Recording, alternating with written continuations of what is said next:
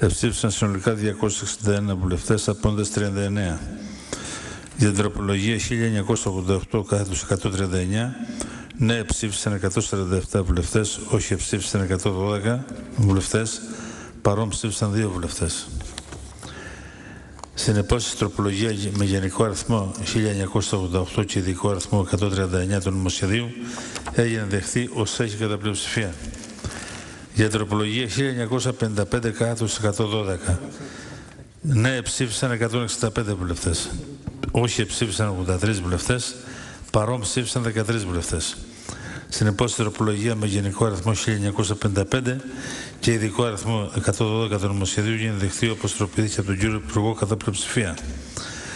Εισερχόμαθα στην ψήφιση του ακροτελεύθερου άρθρου του νομοσχεδίου του Υπουργείου Δικαιοσύνης, Διαφάνειας και Ανθρωπίνων Δικαιωμάτων και ρωτά το σώμα γίνεται δεχτό όπως τροποποιήθηκε από τον κύριο Υπουργό.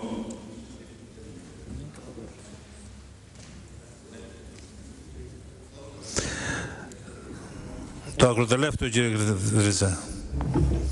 Κατά πλειοψηφία; Συνεπώς, το σημείο αυτό, με συγχωρείτε, συνεπώς το ακροτελεύθερο άρθρο έγινε δεχτό όπως τροποποιήθηκε από τον κύριο Υπουργό κατά πλειοψηφία. Δέχεστε στο σημείο αυτό να ψηφίσουμε το νομοσχέδιο στο σύνολό του; Συνεπώς, το νομοσχέδιο του Υπουργείου Δικαιοσύνης, Διαφάνειας και Ανθρωπίνων Δικαιωμάτων, το οποίο συζητήσαμε, ψηφίστηκε. Ε, Λοιπόν, στο σύνολο, επί της αρχής, κατάρθω και στο σύνολο κατά πλειοψηφία. Παρακαλώ το Σώμα να αξιοτήσει το Προεδρείο για την υπευθύνη του επικύρωση των πρακτικών της σημερινής συνεδρίασης όσον αφορά την ψήφιση του στο σύνολο του παραπάνω νομοσχεδίου. Η εξουσιοδότηση παρεσχέθη. Ε, αυτά εδώ δεν βλέπω τίποτα. Μάλιστα. Μισό λεπτό, μισό λεπτό. Μισό λεπτό. Δεν βιάζεστε. Κύριε συνάδελφοι, ε, με την υπαριθμό 11.030.73 από 14 2014 απόφαση του Προέδρου της Βουλής συγκροτήθηκαν οι προβλεπόμενες από το άλλο 43α του κανονισμού της Βουλής υπό επιτροπές των ειδικών μονίμων επιτροπών Α. Επιτροπή Ιδατικών Πόρων της Ειδικής Μόνιμης Επιτροπής Προστασίας Περιβάλλοντος. Δεύτερον, Υποεπιτροπή για τα θέματα των ατόμων με αναπηρία της Ειδικής Μόνιμης Επιτροπής Ισότητας Νεολαίας και Δικαιωμάτων του Ανθρώπου. Και τρίτον, Υποεπιτροπή Νησιωτικών και Ορεινών Περιοχών της Ειδικής Μόνιμης Επιτροπής Περιφερειών. Η σχετική απόφαση θα καταχωριστεί στα πρακτικά της σημερινής συνεδρίασης. Κύριε συνάδελφε, έχω την τιμή να σας γνωρίσω ότι προς τον πρόεδρο της Βουλής, κ. Ευάγγελο Μεράκη, ε, απεστάλλει επιστολή από τον βουλευτή Α Αθηνών κύριο, κύριο Ανδρέα Ψυχάρη, η οποία έχει ως εξής. Αξιότιμη κύριε Πρόεδρε, υποβάλλω την παρέτησή μου από το αξίωμα του βουλευτή της Α Περιφέρειας Αθηνών.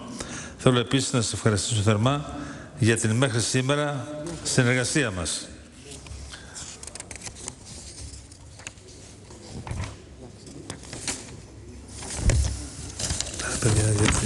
Δέχεστε στο σημείο αυτό να λύσουμε τη συνεδρίαση για πότε, παιδιά, πάμε; Για πότε πάμε; Δεν το βλέπω εδώ πέρα. Ε, ε, για την Δευτέρα 17 Νοεμβρίου 2014 και ώρα 18.00 με αντικείμενο εργασιών του Σώματος, κοινοβουλευτικό έλεγχο, συζήτηση επικαίρων ερωτήσεων. Ε, με τη συνέντευξη του Σώματος, δείτε συνεδρίαση. Τι είναι; Έχουμε βάλει κοινοβουλευτικό έλεγχο. Τι να κάνουμε; Έχω, έχει μπει κοινοβουλευτικός έλεγχος. Τι να κάνω εγώ; Έχει μπει κοινοβουλευτικός έλεγχος. Λοιπόν, το απόγευμα στις 6. Τι ώρα είναι;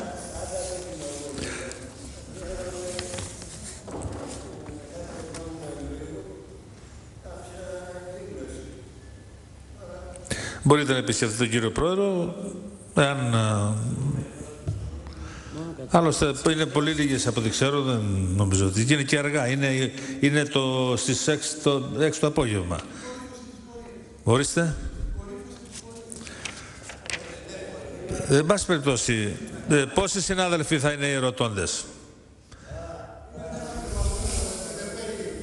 Μάλιστα, ευχαριστώ. Εντάξει, Ρεδρίτσα. Εντάξει, Ρεδρίτσα. Ε, Κυρίες και κύριοι συνάδελφοι, γίνεται γνωστό σώμα ότι από τα άνω δυτικά θεωρία παρακολουθούν τη συνεδρίαση, αφού ξαναγήθηκαν στην έκθεση της αίθουσας Ελευθερίου Βενεζέλου και ενημερώθηκαν για την ιστορία του κτηρίου και τον τρόπο οργάνωσης της λειτουργίας της Βουλής, 23 μαθητές και μαθήτρε και δύο εκπαιδευτικοί από το δεύτερο Γενικό Λύκειο Πειραιά. Η Βουλή σας καλωσορίζει, καλή πρόοδο. Αλλά σήμερα τώρα Μας ήρθατε την ώρα που είχε πλέον λυθεί η συνεδρίαση και είχαμε ψηφοφορία πριν από λίγο. Αν ερχόσασταν λίγο πιο νωρίς, ίσως Βλέπατε και ακούγατε τις συνήθειες λειτουργίες εργασίας της Βουλής. Λοιπόν, πάμε.